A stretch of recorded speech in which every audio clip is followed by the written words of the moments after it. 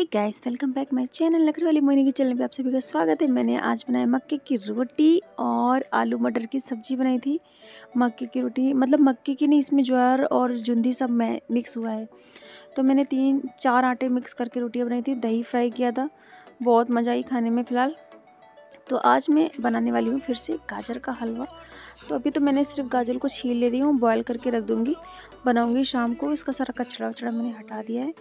तो सारी बॉयल हाँ ऐसे इनको छील के छोटे छोटे पीसेस काट के अच्छे से हमें इनको बॉयल करके रखना है। मैं कद्दूकस नहीं करती हूँ क्योंकि मेरे हाथ में लग जाते हैं और मेरे नेल्स कट जाते हैं।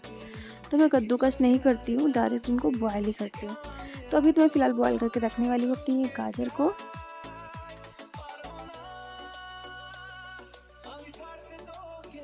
फिर उसके बाद मैं रेडी हुई, फिर मेरे को लाइव जाना था तो फिर मैंने एक सोचा पहले एक वीडियो शूट कर लेती फिर मैंने एक वीडियो शूट किया। वीडियो शूट करने के बाद फिर फ्रेंड्स बस हम निकल रहे हैं डी के लिए। थोड़ा सा जल्दी जल्दी जाना है। तीन बीस पे नन्नू की बस आ जाएगी तो उसी हिसाब से मुझे रेडी होना है। आना है मतलब। तो भी बज गए हैं कितना? दो बज गए एक घंटा आना जाना शॉपिंग करना, सब काम एक घंटे के अंदर करना चलो, हम रेडी हो चुके हैं, निकल रहे हैं। पूरा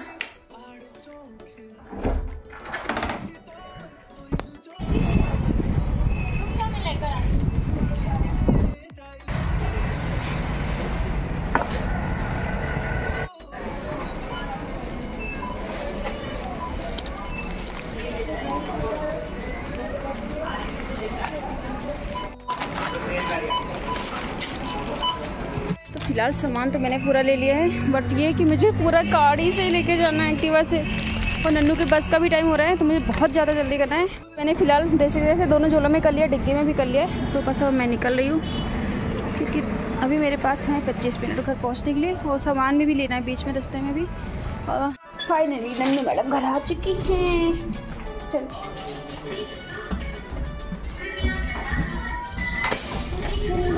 मतलब है बस तुम्हारा प्यार। तो फिर उसके बाद में फ्रेंड्स में आ गई और उसके बाद मेरा लाइव भी चल रहा था और लाइव के चलते चलते साथ में मैं गाजर का हलवा भी बना रही थी। मैंने घी भी बनाया। घी को बना रही थी, फिर वो मक्खन नहीं निकला तो मैंने डायरेक्ट मलाई चढ़ा दी थी तो फिर मेरा फिर फाइनली घी बन गया था, क्योंकि मुझे गाजर का हलवा बनाना था और घी मुझे थोड़ा ज़्यादा लगता है। तो ये मेरी बॉयल की हुई गाजर थी, मैंने चॉपर से इसको अच्छे से चॉप कर दिया था, इसमें चीनी डाल दी, अच्छे से मैश कर रहे। अब इसमें मैं सारे ड्राई फ्रूट भी मतलब होता है ना, काट के नहीं डालूँगी, क्योंकि काटने में बहुत टाइम वेस्ट होता है, हाथ में दर्द भी होता है। तो इस वजह से मैं मैं काटना नहीं है। पानी बिल्कुल भी नहीं था गाजर में तो सारे बादाम और काजू जो भी ड्राई फ्रूट्स मुझे डालने थे, गरी वगैरह, नारियल, सब मैंने कूट के सारे ड्राई फ्रूट्स इसमें मैश कर दिए थे, मुझे बहुत अच्छा लगता है। और उसके बाद में मैंने ऐड कर दिया माया मावा, जो कि मैंने बहुत टाइम से, बहुत मेहनत से बनाई। सबसे ज़्यादा टाइम मुझे मावा बनाने में लगा था। बट अब मैं कभी भी हलवा बनाऊँगी तो एक दिन पहले मावा बना लूँगी। रेडी हो गया हमारा। तो फ्रेंड्स आज मैं बनाऊँगी सेव के पराठे। नन्नू की डिमांड में सेव के पराठे बनने हैं। तो प्याज भी कट करना है सेव में तो मैं बस चाहिए बनाने। तो फ्रेंड्स आज बने हैं हमारे यहाँ सेव के पराठे और मैंने तो अपने लिए बनाए प्याज और धनिया वगैरह डाल दिया था तो नन्नू को नहीं पसंद है था प्याज तो हम लोगों ने अपने लिए बनाए मस्त बहुत यमी बने थे देखो मस्त भरा हुआ है सेव। और नन्नू के लिए सिर्फ़ सिर्फ़ और सिर्फ़ और सेव का बनना है और इधर हमें खाना है ये मावा है इसमें थोड़ी सी चीनी डाल दी है। किचन फैला पड़ा हुआ है उस पर बच जाओ ध्यान क्योंकि भी खाना खाने जा रहे हैं हम लोग। और ये हलवा बनाया है गाजर का। तो ये भी मैं सबको टेस्ट कराने वाली हूँ। और अभी ये सेव नमकीन लेके आए जो भी तो उसका पराठा बनना है फ़िलहाल अभी। तो अभी मैं तो पराठा ही बना रही हूँ यार। ठंडी लग रही है क्योंकि सुबह आज हो गए हैं लेट लेट हो गए उस चक्कर में हमारा। खाना भी लेट होगा। इवन सारे काम लेट होंगे। बट मेरी कोशिश है कि मैं जल्दी जल्दी करूँ।